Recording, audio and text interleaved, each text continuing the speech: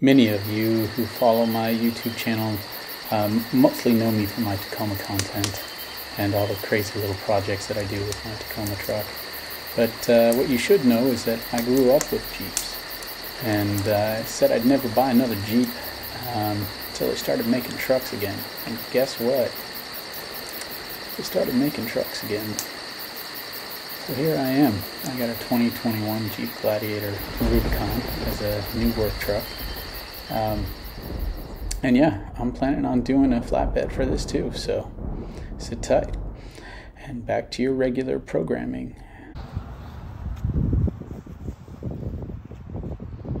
Oh, look. That one's not my truck. Oh, shit, there's my truck. Someday I'll get rid of the ratcheting tie-down strap that's holding, holding my toolbox in place. Look, factory Rubicon, factory height. Look at that. I think he's a little taller than me. He must have like a, a, little bit of a lift. He's got those um, little steps. Uh, let's take a look. Huh. Yeah. He's got a uh, uh, Smittybilt winch in there. And uh, I'm not sure about the bumper.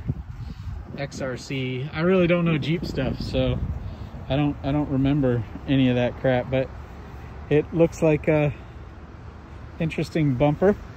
Um, this is a brand new truck though, looks like.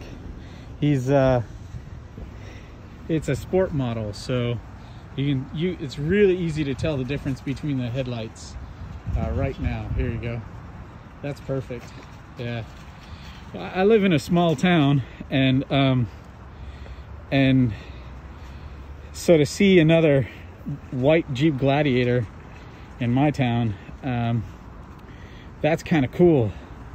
And then, oh look at that! His muffler is uh, his little resonator muffler there has been blacked out. That's interesting. I wonder if mine's blacked out.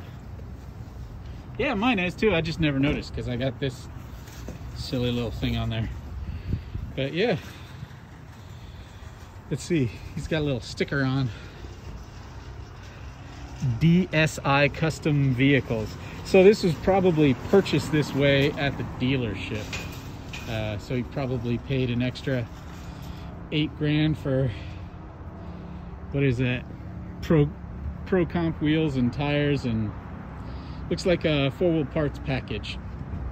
So uh, I know the dealership that I bought mine from had one similar to this. It was white also.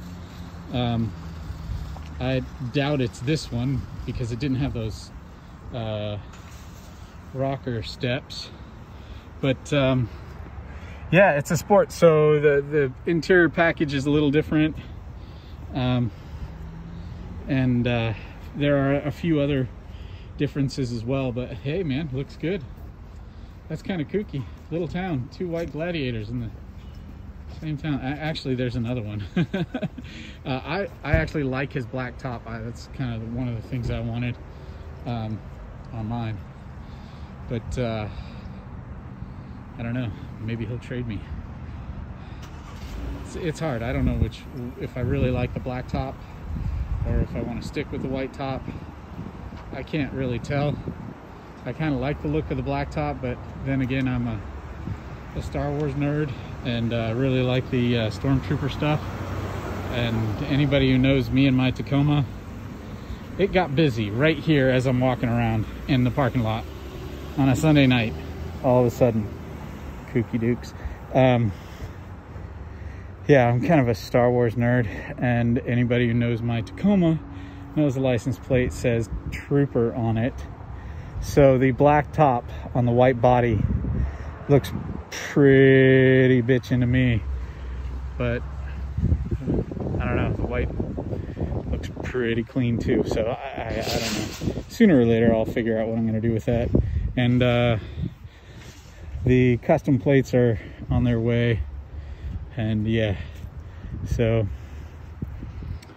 um, my Jeep got duck duck jeeped um, I don't know, a week, two weeks ago, something like that, at the postal, uh, the post office. And then my daughter decided that she had to have all these ducks.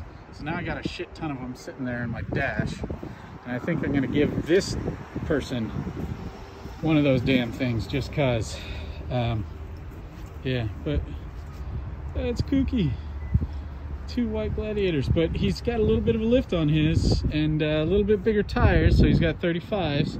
I don't know if it's actually lifted or not. I really didn't pay that close attention, but um, if, if mine looks that high with 35s, then I think I'm gonna go with 36s.